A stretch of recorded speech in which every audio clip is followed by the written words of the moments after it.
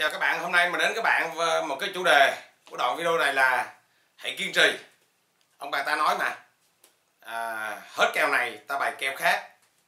À, đường đi khó không khó vì à, ngăn sông cách núi. Bởi khó vì lòng người ngại núi e sông. Ok chưa? Vậy thì mình hay luôn nói rằng là các bạn hãy kiên trì.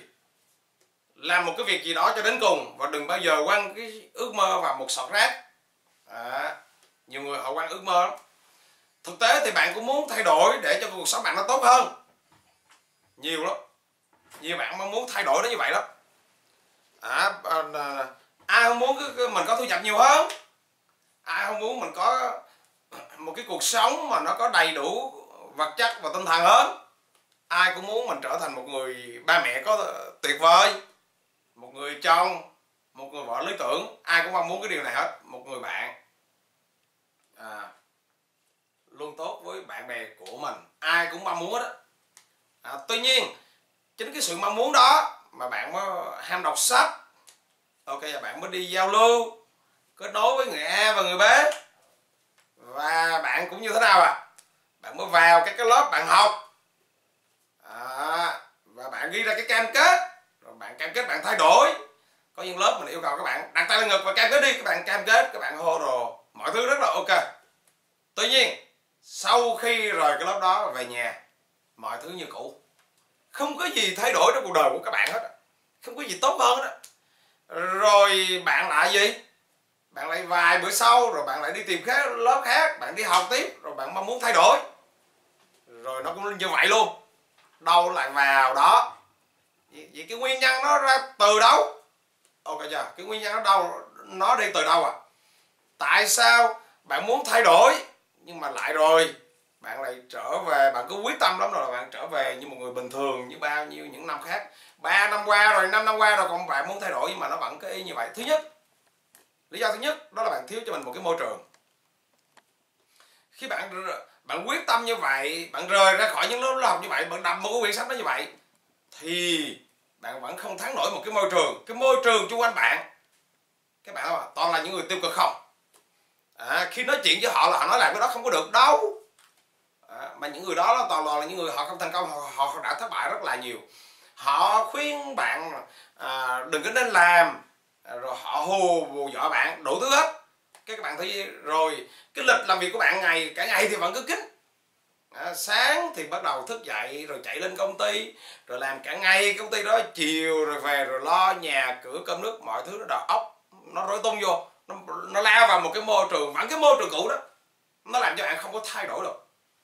À, có một bạn kia à, 3 năm rồi mình gặp bạn cứ mỗi lần gặp mình là bạn muốn thay đổi mà, mà muốn thay đổi. Tuy nhiên nói vài câu là bắt đầu điện thoại.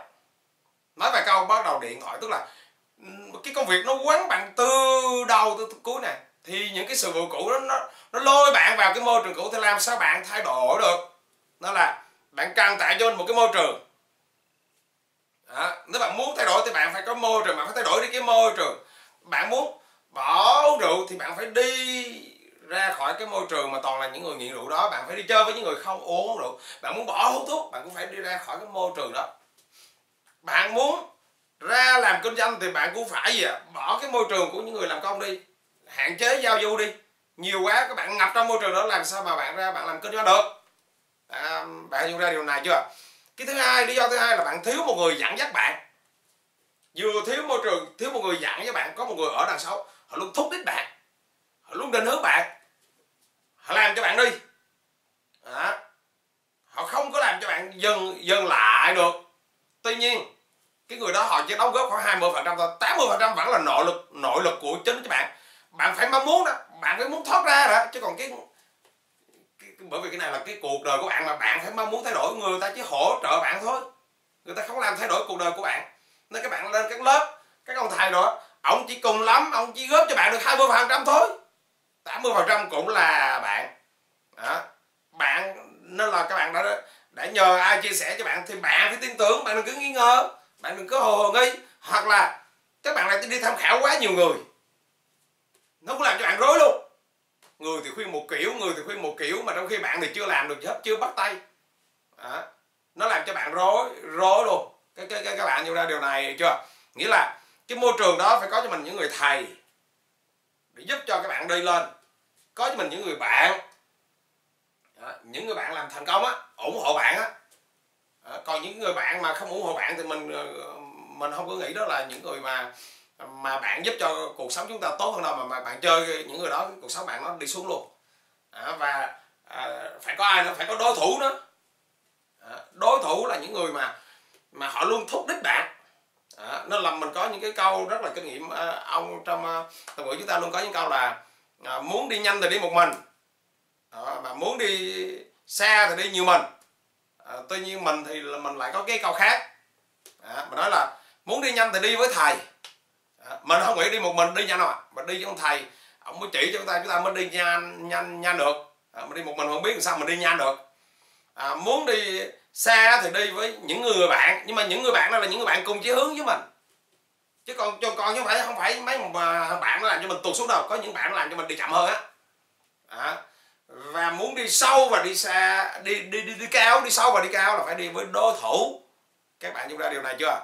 Và bạn hiểu cái nguyên lý này nên bạn bạn phải kiên trì. Kiên trì. Mỗi ngày một chút. Nếu mà công việc chúng ta bận quá thì bạn phải dành thời gian cho nó, có thể là nửa tiếng, có thể là một tiếng để bạn dành cho cái việc kinh doanh và khởi nghiệp một tiếng thôi. Mỗi ngày bạn dành một tiếng thôi. Thì khi bạn đủ một ngàn tiếng thì bạn sẽ khác biệt liền. Bạn có hình dung ra điều này chưa? Đừng cứ bạn dành thời gian nó không đủ, mà bạn cứ đòi muốn ra khởi nghiệp. Cả một ngày bạn đi làm công, rồi bạn không có dành thời gian nào hết thì thì thì làm sao mà bạn đòi ra cái nghiệp lực bạn không nói được ngôn ngữ được bởi vì bạn không dành thời gian nào nào cho nó. Nếu mà bạn dành đủ một ngàn giờ cho ngôn ngữ thì bạn cũng có thể nói ngoại ngữ. Các các bạn dung ra điều này chưa? Nên là cái câu cuối cùng mình gọi đến các bạn là là hãy kiên trì và đừng bao giờ quăng ước mơ mình vào một cái xó rác nào đó, đó. Và hãy đi tìm những người bạn những người thầy những người đối thủ họ sẽ hướng dẫn cho chúng ta đi. Các bạn sẽ tham tham khảo những đoạn video tiếp theo. Nhớ đăng ký đoạn youtube của mình nhé. Cảm ơn các bạn rất là nhiều.